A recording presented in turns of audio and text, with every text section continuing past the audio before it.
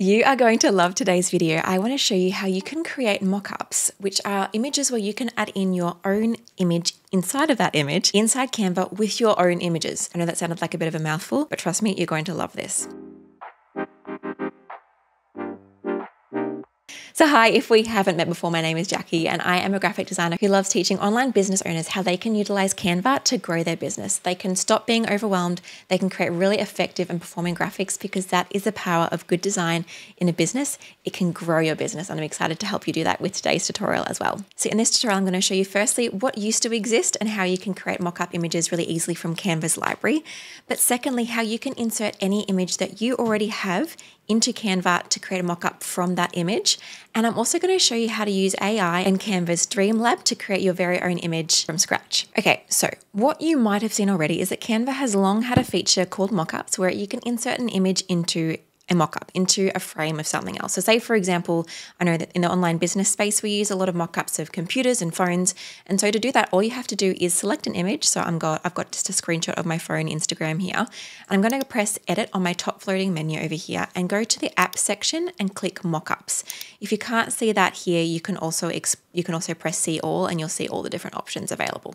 So if I click mock-ups here, you can see it down here, we've got a smartphone option. If I press, see all here, there are a thousand different ways that I can put a smartphone here. So say, for example, if I wanted just a cool smartphone on an angle, I could insert this as a little mock-up and it will insert my image into this mock-up. It's all done really well in terms of it's got perspective, it looks really suave. It's it's like it, it just looks really top notch. And you can do that whether it's for a floating kind of phone or even a phone in someone's hand doing all these cool things like so. But the feature that we now have available to us is that we can create our very own mock-up images. So say you don't you don't want a random man holding a phone, you might want a picture of you holding a phone. So as an example, I had a branding photo shoot done a little while ago and I got this great picture of me holding a phone. I can now use Canva to create this for me as a mock-up image where I can insert my own pictures in and out whenever I'd like to. So I'm going to select my image, press edit, navigate to the mock-up section and click on this button up the top here underneath custom. It says create a mock-up template. Now Canva's going to use AI to work out the parts of this image where a mock-up could be inserted into and give me four different options to see if one of those is suitable. Give this time to process, it might take you a minute or so. And you'll see once that comes up that it's trying to pick out where I want my mock-up to be. Because of the reflections on this phone, it's kind of getting a little bit confused, but you can see like, it's like, do you want me to, do you want to replace your whole top? That could be a cool option. If you were doing like a mock-up for a t-shirt, for example, you can do, you, you can use this kind of idea, or my pants, for example, or it's tried here to do the phone. So I'm going to click on this first option here and press confirm.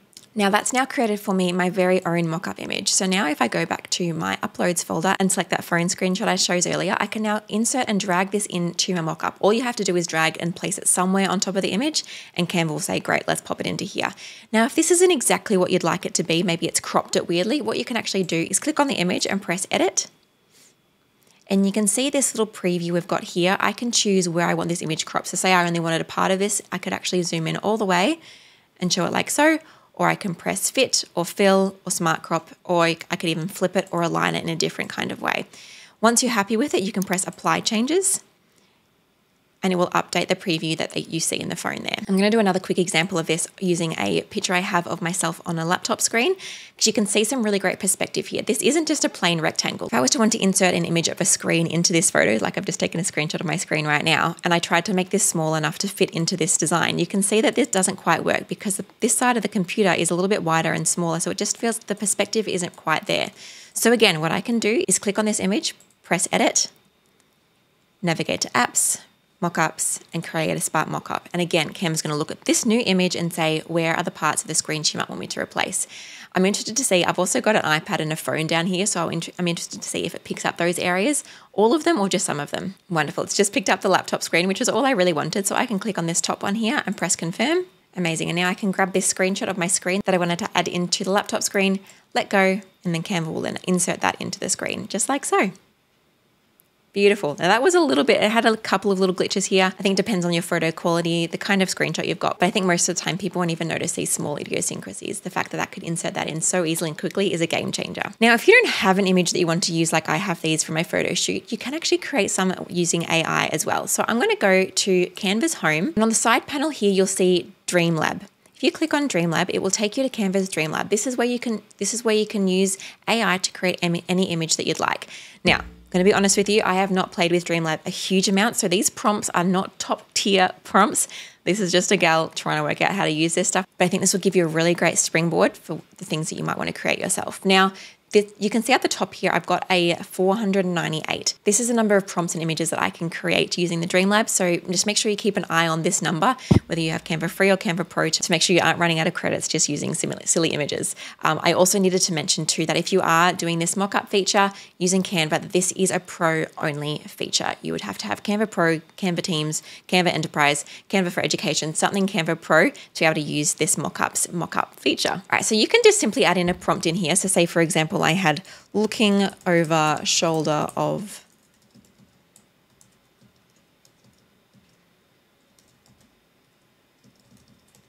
don't know why you're looking over shoulder of a dog, but maybe you have a dog brand and you're asking, maybe you, you, train dogs and you're looking for someone to, and you're trying to advertise that you do social media for dogs, you know? You can see there's some great options for us here. Um, this one's probably the most reasonable. I'm going to do this one here. So I can actually just click on this. I can either download it or I can go in straight and edit this. So I'm going to press edit and it's going to just open up this image inside a new design for me. Just to note that you can change the ratios here of the kind of size photo that you want, and you can also change the style. So I gave the photorealistic prompt when I shared when I shared it, but you could also give it some prompts in here of what kind of style of illustration or image you would like. So if I go to edit now and select that image and press mockups, I'm going to create a mockup template and let Canva do its thing. I'm interested to see how it handles the, the border on the phone here. All right, so you can see here, this has done a pretty good job. I'm going to choose this one here. Press confirm. Now I can drag and insert the image that I wanted to choose in here. It's kind of deleted a little bit of the phone, which is unfortunate, but I think overall it's looking pretty good.